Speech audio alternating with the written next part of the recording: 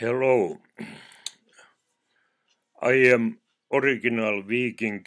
My haplogroup is M253. That is OK and and I have Viking root.